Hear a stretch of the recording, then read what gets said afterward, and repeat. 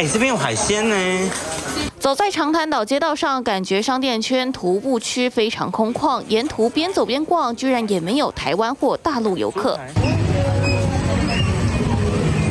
当地的观光三轮车上，一车一车载的几乎都是菲律宾当地人居多。原来台湾旅客原本可以选择搭菲律宾的皇家航空到当地旅游，而且是直达最靠近长滩岛的卡提克兰机场，还有虎航可以飞到远一点的卡利伯机场，要再搭约一个小时的路程。但这两个航线现在都已经买不到机票。对于想去长滩岛的旅客来说呢，真的是非常的麻烦，因为旅客只能先到马尼拉，再转机到长滩岛。由于马尼拉的机场其实它的便捷性非常的低，如果转机马尼拉再来到长滩岛，至少多花上半天时间。据了解，从冬季班表十月二十九开始，虎航就暂停直飞。虎航也回应，考量到目前市场需求变化以及旅客对旅游市场的期待，将以最妥适的航线规划为布局。对于中文的店家影响的非常大，像是中文的导游啊、中文的潜水的服务，或是中文的商家，通通都嗯。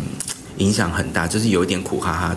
疫情后，国人旅游出现变化，像新宇十二月就增加了名古屋和旧金山航线。华航不止在热点增加航班，也从十二月九号开始复飞高雄、新加坡，明年一月复飞松山、武汉和高雄、冲绳航线。长荣冬季班表，桃园飞西雅图、高雄飞福冈、桃园飞冲绳，每周都有增加班次。大多航空公司都还是看好出国旅游人潮，增加航点或航班。特别新闻，数目这曹志源台北采访报道。想看最完整的新闻内容，记得下载 TVBS 新闻网 APP。